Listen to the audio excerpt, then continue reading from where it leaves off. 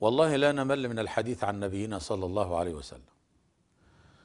ولا أقول هو تعصب بل نعم التعصب إذا كان لرسولنا صلى الله عليه وسلم. فإننا لا نتعصب إلا لهديه ولأخلاقه دونما تشدد ودونما خروج عن طريقته صلى الله عليه وسلم.